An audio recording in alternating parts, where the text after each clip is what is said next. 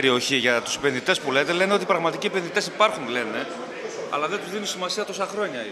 Ποιοι, για ποιους εννοείς; Αυτή την κουβέντα που είπε ο κύριος Παπαθημιόπουλος, ο οποίος είναι εδώ, είναι από τους άμεσους συνεργάτες στον αγώνα που κάνουμε για τη λειτουργία των ε, μαρμαροφόρων και τασμάτων και ο άνθρωπος είπε αυτό το αυτονόητο, ότι είμαστε εμείς, είναι ο Δήμος, είναι οι μαρμαράδες που μπορούμε μόνοι μας να παλέψουμε αυτό το χρυσοφόρο κεφάλαιο που λέγεται μάρμαρο.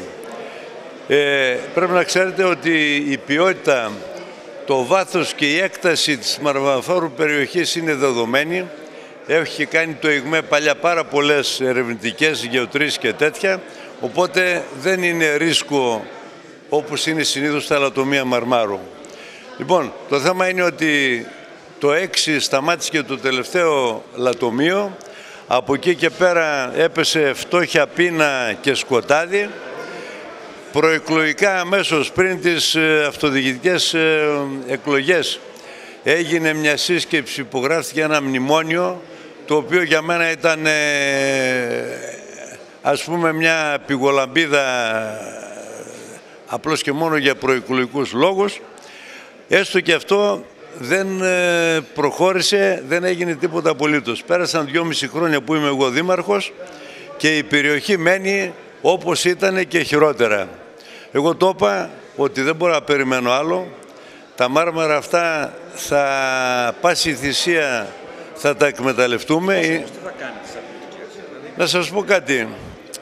Ε, τα μάρμαρα Σερβίων στην περιοχή Λαβανίτσας έφερα προσωπικά εγώ τον ε, κύριο Αγγελάκη που είναι ο Διευθύνων Σύμβολος της Τέρνα. Σε 3,5 μήνες, σε 3,5 μήνες βγήκανε άδειες, γίναν δρόμοι, γίνανε πλατό, γίναν διαζώματα και σήμερα δουλεύουν 16 στυρματοκοπές. Και το θέμα είναι ότι δεν βρήκαν ακόμα το μάρμαρο που θέλανε. Βρήκανε καλό μάρμαρο, αλλά μικρά κομμάτια. Αν αυτή η δουλειά γινόταν στο Τρανόβαλτο, σήμερα θα είχαμε Ανάσταση. Στο Τρανόβαλτο τι θα κάνετε όμως το Κοιτάξτε, εγώ περιμένω τώρα να δω τι θα κάνει η περιφέρεια. Δηλαδή μέχρι τώρα δεν κάναν τίποτα απολύτως. Εγώ σαν δήμαρχος το έφερα το θέμα στο, στο Δημοτικό Συμβούλιο, ψηφίσαμε το ποσό που μας αναλογεί, αλλά από τότε και ύστερα δεν έγινε τίποτα απολύτως. Εγώ σαν κοσματόπουλος δεν μπορώ να περιμένω ούτε λεπτό.